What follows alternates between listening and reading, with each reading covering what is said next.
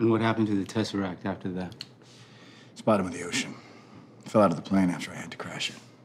Yeah, I've been meaning to ask, why did you have to crash the plane anyway? There's bombs on board. Bombs on board. And you couldn't have jumped out of the plane before you crashed it?